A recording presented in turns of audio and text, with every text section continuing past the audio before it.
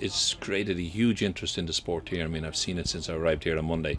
The newspapers, my fellow IOC members talking to me about it. They're all, all been reading about it.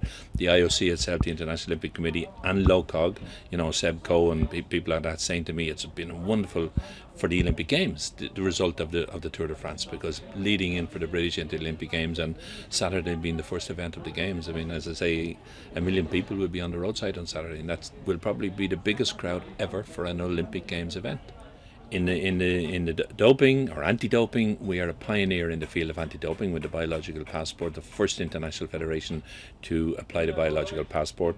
It is acting as a huge deterrent. We can see, and everybody, you know, the media even and, and, and the teams and, and everybody around cycling can see the difference, can see the change we still have athletes who, who make stupid mistakes, and you know we had, um, you know, Schlechten on, on, on on the tour this year. We still have to wait and see what his story is or what the eventual outcome is. Um, in relation to the Armstrong affair, which is hanging over our heads, you know, even though it goes back 15 years and so forth, you know, it's it's a negative hanging over our heads, and the sooner it's set, settled and sorted, the better that we can move forward.